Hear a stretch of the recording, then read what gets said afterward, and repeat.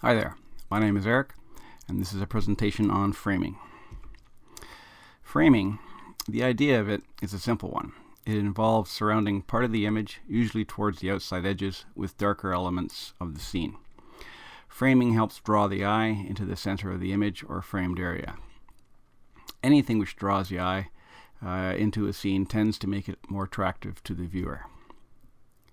Framing is not necessary to create a, a nice image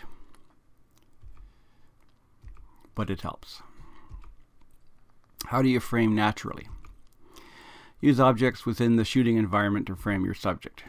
Normally, those objects are naturally occurring.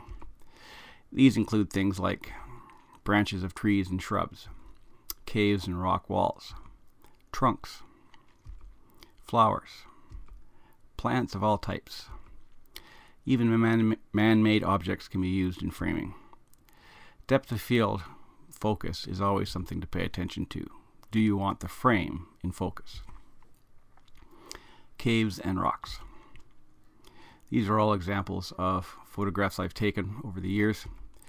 Um, some of the places I visited, and it's always awesome to explore and enjoy natural wonders that exist.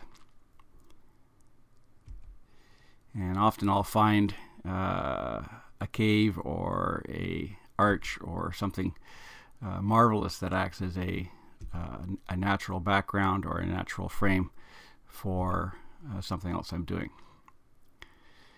Even trunks and branches.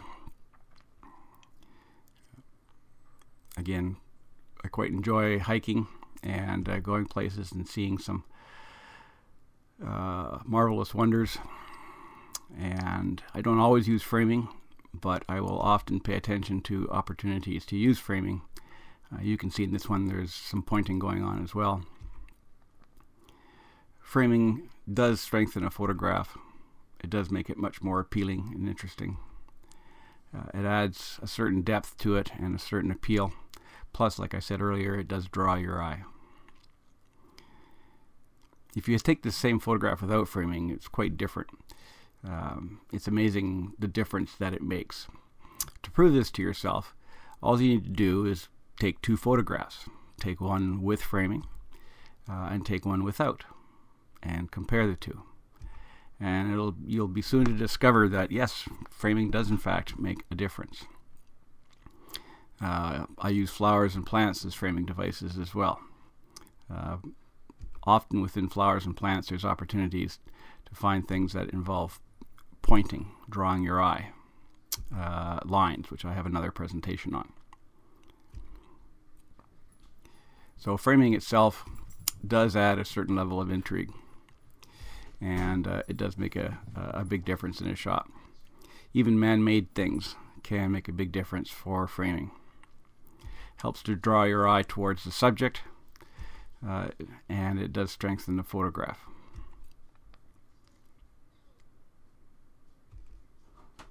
Many of these places uh, I've been have been some of them have been travels, some of them have been local. Uh, but the opportunity always exists.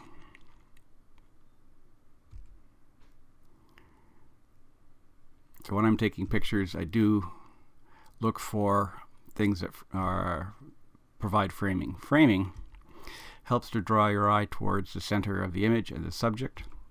It strengthens the overall scene. It prevents there from being large empty spaces with nowhere for the eye to go. It adds texture and a level of detail to the image. Uh, it often includes things like branches which point towards the subject. Thanks for watching. I hope you enjoyed this. And uh, take a look at some of my other presentations. Uh, if they're not there, they'll be there soon. Thanks. Bye.